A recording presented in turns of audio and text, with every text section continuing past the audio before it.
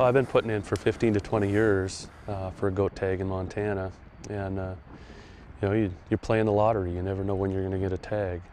You just hope you get one when you still have a body to do it. The biggest challenge is the terrain.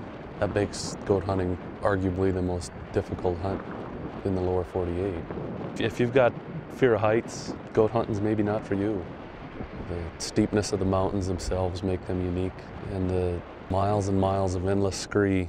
And to try and hike across that stuff all day long really is a test of your body to find out what your, what your ankles and legs and, and uh, the rest of your body can endure. And just make sure that you keep your head on your shoulders and make good decisions when you're climbing around because, you know, one false step could, could mean your life.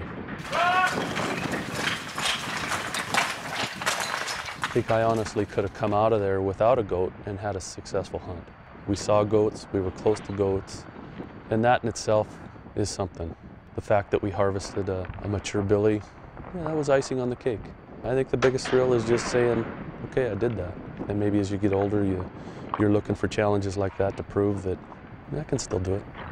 I can still do it. That was one of the most difficult hunts I've ever been on, by far, by far. There's an old adage that there's not many repeat goat hunters, you know, and it's very true. I have no desire to do that again.